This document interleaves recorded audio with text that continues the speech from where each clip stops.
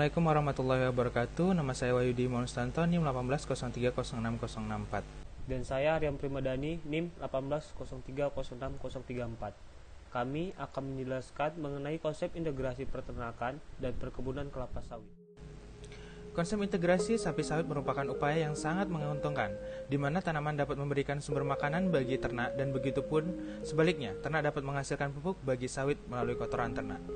Konsep integrasi peternakan dan perkebunan yang yang kami gambarkan adalah integrasi sapi dengan perkebunan kelapa sawit serta pemanfaatan limbah PKS berupa solid.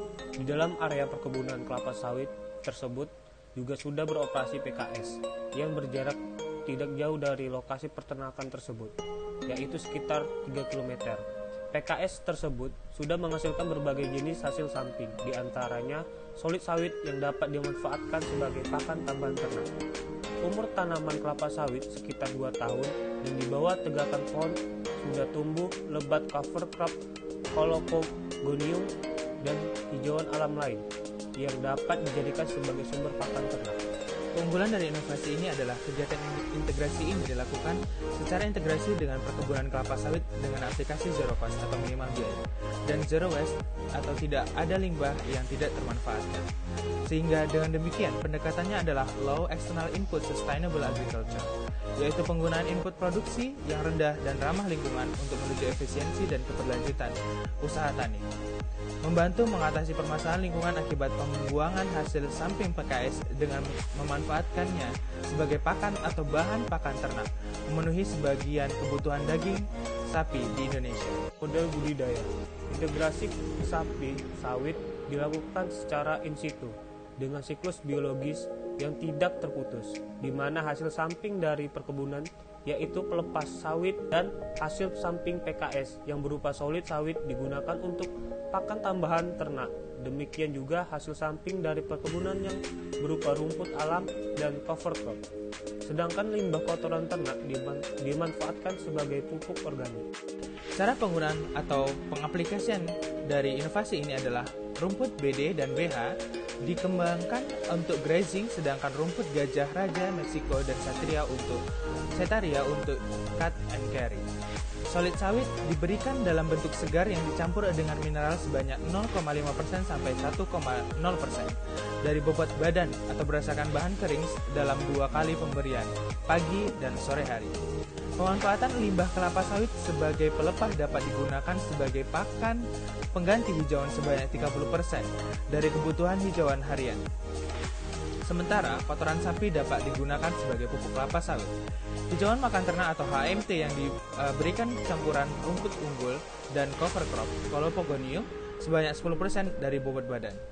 Untuk meningkatkan kualitas pakan asal pelepas sawit, dapat kita lakukan dengan fermentasi yang akan menjadi stok pakan ternak kita. Pelepas sawit fermentasi dapat disimpan dalam waktu yang lama, bahkan bertahun-tahun tanpa mengalami penurunan nutrisi jika kita simpan dengan baik. Cara pengolahan pelepah dan daun sawit menjadi pakan ternak melalui fermentasi yaitu yang pertama siapkan alat dan bahan yang mana alat berupa koper, baskop, scoop, terpal, dan plastik karung. Bahan yang digunakan berupa pelepas sawit sebanyak 200 kg, urea 1 kg, starbio 1 kg, dan air sebanyak 8 liter.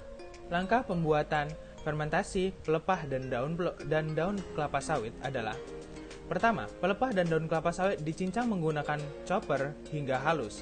Proses pelarutan fermentor starbio di mana dengan cara dicampur dengan urea dan ditambah dengan air. Selanjutnya, pencampuran larutan starbio pada pelepas sawit yang telah dicacah dengan halus. Yang keempat, pelepas sawit dimasukkan ke dalam plastik karung. Selanjutnya, lakukan fermentasi di mana kelapa sawit dimasukkan ke dalam plastik karung kemudian disimpan di tempat teduh.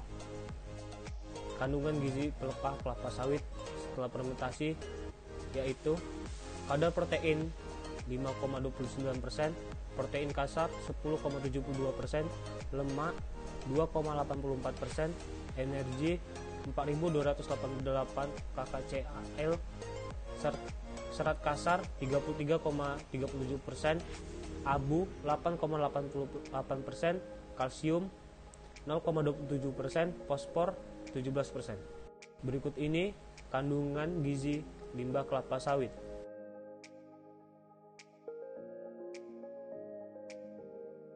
Dengan menerapkan prinsip integrasi ternak dan perkebunan kelapa sawit di mana prinsipnya itu dilakukan secara sinergi di mana masing-masing usaha yang diintegrasikan satu sama lain uh, saling mendukung, saling memperkuat dan saling ketergantungan sehingga tercipta kawasan agribisnis peternakan yang berwawasan lingkungan.